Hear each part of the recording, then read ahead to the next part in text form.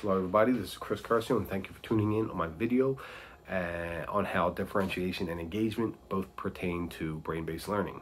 What brain-based learning is, is basically contemporary learning with respect to the scientific side and the psychological side of how an individual functions. Um, a trademark of brain-based learning is differentiation. A great way to differentiate, me being a middle school teacher, is through our writing assignments. Um, I cover a variety of writing assignments and poetry is a genre that always comes up.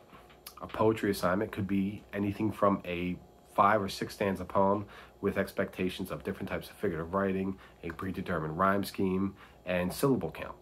Or for a student who maybe struggles with creativity or has more limited vocabulary, you can ask them to write a haiku, maybe two or three haikus. Haiku is only three lines, 17 syllables in total, but the end product is still going to be similar in that you're looking for an imaginative cohesive, unique writing assignment. Um, another way of looking at brain-based learning is through the engagement side of it. Engagement is exactly what it sounds like. Um, just like with differentiation, engagement is pulling students in, is getting them to engage in their academic program. A way I've done this, and it's been huge, wildly successful, is through launching our Student Government Association, or SGA. I launched it four years ago, and the results have been so impressive. Um, you have democratic elections every year and kids are campaigning they're doing social media campaigns they're going classroom to classroom to get themselves elected. Once they get elected to the sga it just keeps going further and further. They are organizing their own events they're planning their own activities they're scheduling field trips they are throwing parties they're getting outside businesses to donate to school. They're engaging the school in so many different levels and they're taking so much pride in the school that it's it's just filtering down inside the classroom and they're taking pride on whether or not their friends are doing their work and it's taking pride on whether or not the teachers are being respected.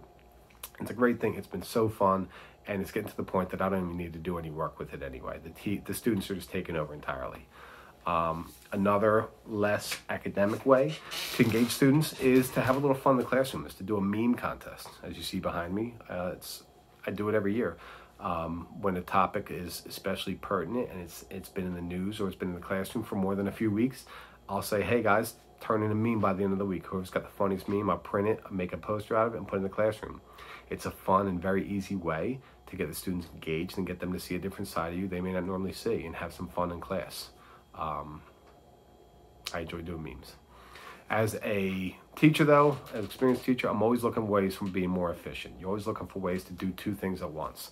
So you don't really want to engage them without differentiating, and you don't really want to differentiate without engaging. Here's a couple ways to do both simultaneously. Um, classroom debates.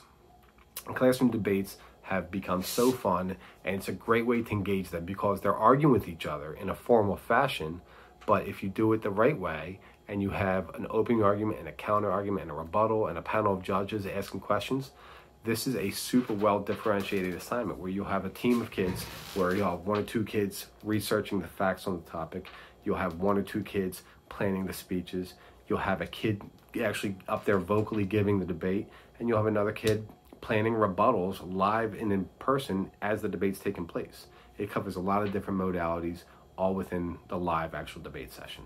Um, another way to differentiate and engage at the same time is a YouTube narrative, is what I've called it. So when kids are doing narrative writing, some students have no problem just coming up with their own story and their own plot structure and their own imagination taking over and coming up with their own narration. However, other kids need a little guidance. This is where, where, where you can find YouTube narratives. So you'll find like a five or six minute clip online and you'll play. It's a short video, a short story.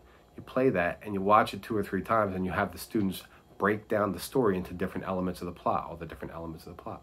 And what they do from this point is they're basically connecting the dots of the plot through their own paragraphs. They're using the guide of this plot structure to write their own story. The story, what they're writing is the video they've seen on YouTube, but the end product of what they do versus the kid who came up with their own story is going to be pretty similar. And they can take a lot of pride in that. It's going to expand their vocabulary, expand their understanding of narrative writing too. Fun way to engage and to differentiate. Um, so in summary, there's a lot of different ways to differentiate, ways to engage. Um, writing assignments can cover all sorts of areas. Communicate with parents can cover. Student Government Association has been great. A meme contest, classroom debates, and YouTube narratives. Some great ways. Hopefully they um, they're used by other people besides me. Thank you. Enjoy your day.